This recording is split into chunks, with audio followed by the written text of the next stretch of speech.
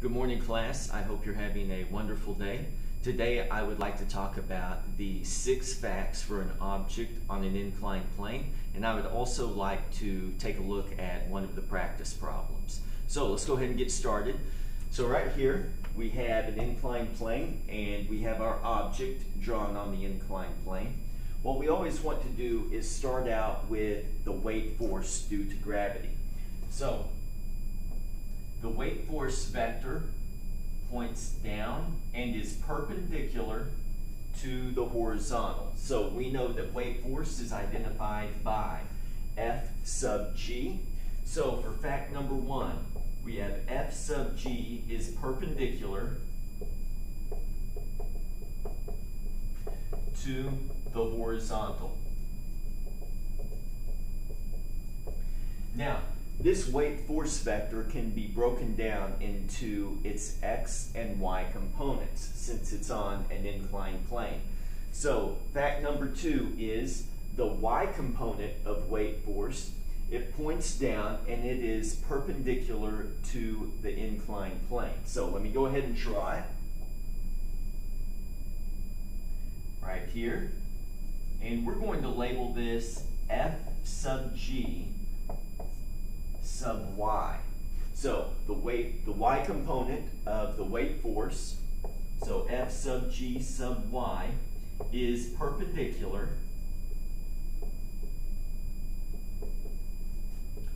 to the inclined plane.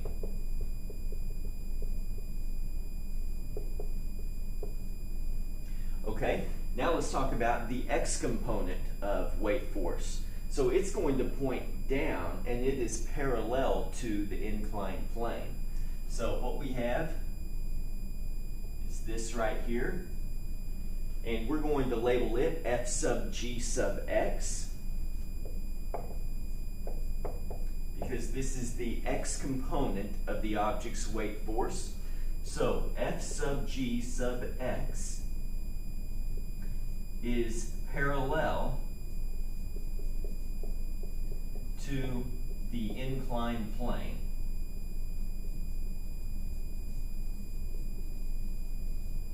And what we can do is we can project this x component of the weight force down right here using the head to tail method. So what we're going to do is place the tail of the x component of the weight force on the head of the vector for y component of weight force. So we're going to project it down using the head to tail method here. And I'm going to go ahead and label this vector here, f sub g sub x. And this is going to give us a right triangle there. So on number four, we need to talk about the normal force applied to the object. We know that normal force is identified by F sub n, and we can draw that vector right here. So normal force applied to the object, F sub n, is equal in magnitude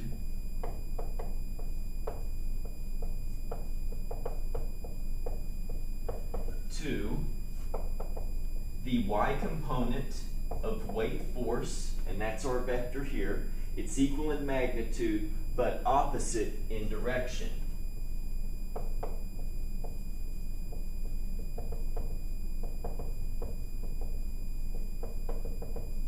So what we have here is an interaction pair. Whatever the value for the y component of the weight force, whatever the magnitude there, and it's pointing down perpendicular to the inclined plane, normal force will be equal in magnitude but pointing in the opposite direction. Next, we have the friction force. And we know that friction force always opposes motion. And right now, I'm just going to label this as a subscript of friction. I'm not going to be specific about static friction force or kinetic friction force right now.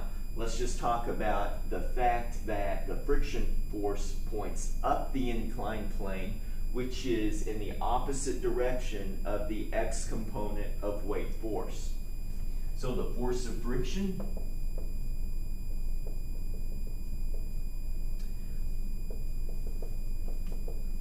points in the opposite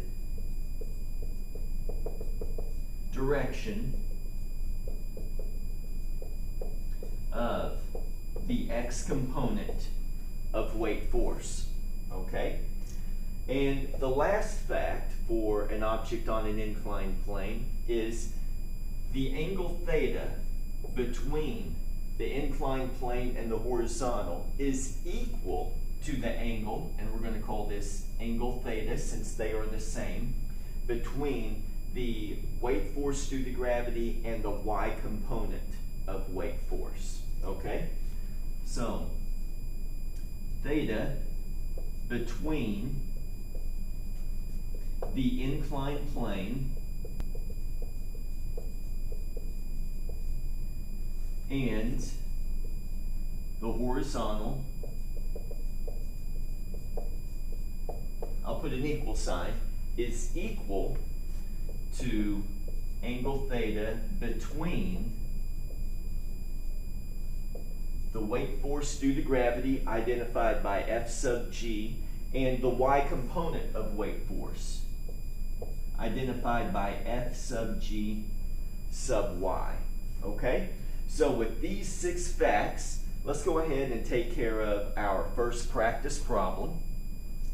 So a 37 kilogram crate sits on a frictionless inclined plane with an angle of 22 degrees from the horizontal.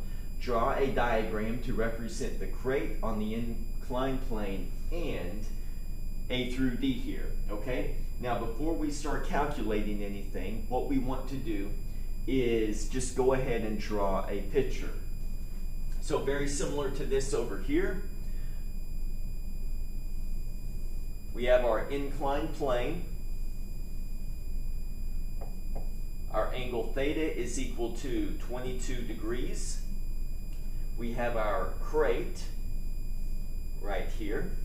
And we know that the weight force due to gravity is going to point in a negative y direction and this vector is actually perpendicular to the horizontal or the surface of the earth. So I'm just right here. I'm just going to show my perpendicular sign. We have a right angle here. Okay? All right, next we need to calculate the weight force due to gravity. We know that the mass is 37 kilograms. It gives us that. So what we want to do now is calculate the weight force due to gravity.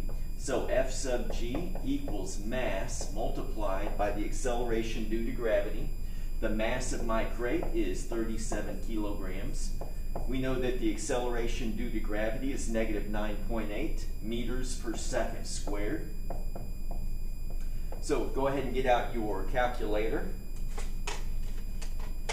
So 37 times 9.8, negative 9.8, is equal to 362.6 newtons. And that's negative. It's pointing in a negative y direction. So I'm going to go ahead and label this here. This is part A, calculate the weight force due to gravity. F sub g is equal to 362.6 newtons. Right here I have a negative sign because we multiplied by negative 9.8 meters per second squared. Right here we do not need a negative sign since our vector is showing us the direction. Okay, so 362.6. Next it says calculate the x component of weight force, and part C is calculate the y component of weight force. So what I want to do is refer to the six facts for an object on an inclined plane. And take a look at my vectors here.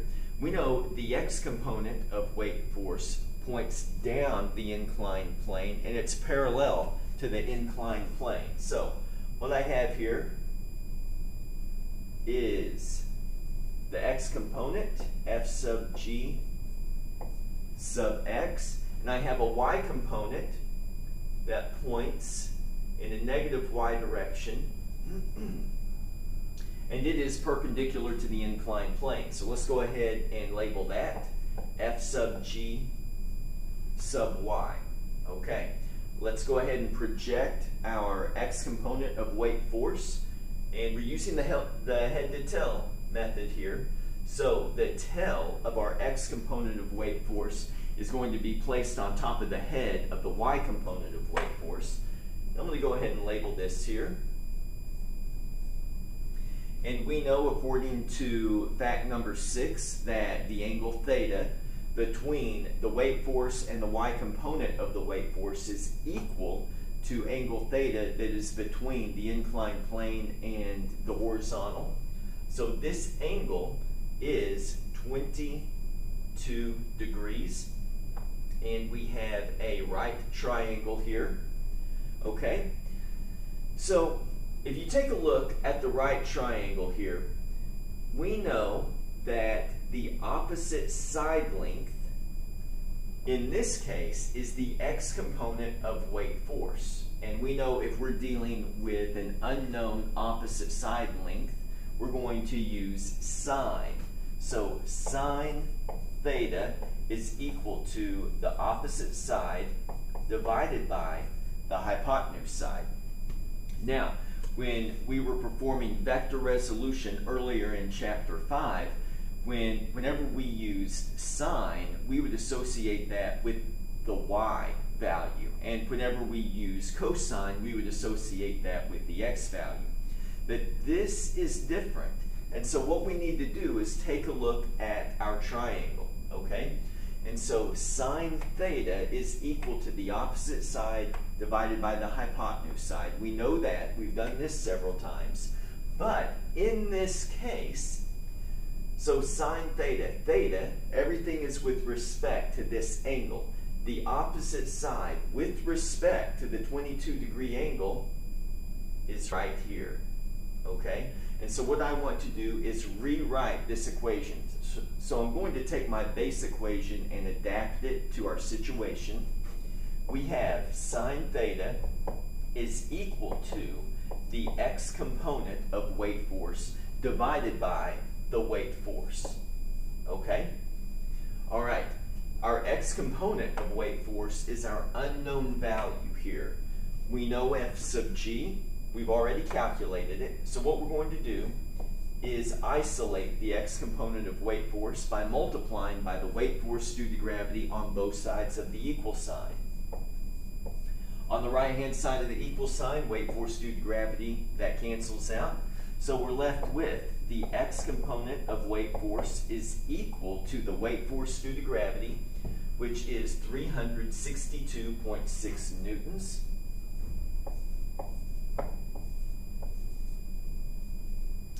And then we have sine of the angle theta, and we are at 22 degrees.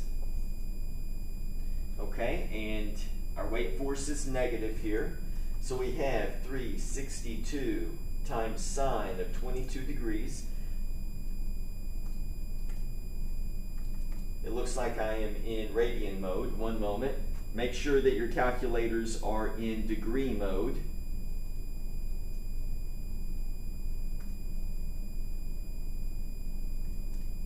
Okay, one more time here. So I've got negative 362 times sine of 22 degrees. There we go. All right, I have a negative 135.6 newtons, okay? And so since we have a negative sign here, this is just telling us the direction that it's going down the ramp. And we know that the x component is parallel to the ramp, but we're going down the ramp. So I'm just going to go up here and label 135.6 newtons, and our vector arrow is pointing down the ramp for us, okay? Now let's calculate F sub G sub Y. So we're looking for our Y component of weight force. Now, taking a look at our triangle here, with respect to angle theta, our 22 degrees, let's take a look at our adjacent side length. So our adjacent side length is the y component of weight force.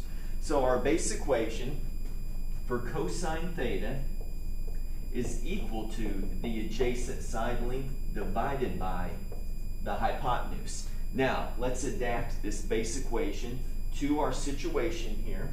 So cosine theta is equal to, the adjacent side is our y component of weight force. So F sub g sub y. And we're dividing this by our hypotenuse for this triangle. The hypotenuse of the triangle is this vector, and that is the weight force due to gravity. So F sub g, okay?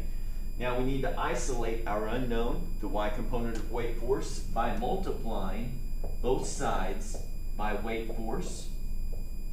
On the right hand side, weight force cancels out, leaving us with the y component of weight force is equal to weight force due to gravity, which is negative 362.6 newtons times cosine of 22 degrees. Okay, so we have negative 362 cosine 22 degrees. This gives us a negative 335.6 newtons. Okay, so let's go ahead and label the diagram that we've drawn. So the negative sign is telling us that we're going in a negative direction, but our vector arrow our arrowhead is pointed in a negative direction. So we don't need the negative sign because we're labeling our diagram here. So 335.6 newtons. So that's part C. Part D, what is the normal force identified by F sub n? So according to fact number four, the normal force is equal in magnitude to the y component of weight force, but the vector points opposite in direction. So this is our support force, okay? So F sub n is equal in magnitude but points opposite in direction of the y component of weight force. And we just calculated the y component of weight force. So the magnitude of normal force is 335.6 newtons. Okay, so that is A through D. If you have any questions, feel free to email me or give me a call. I will be more than happy to help you. I hope you have a wonderful day.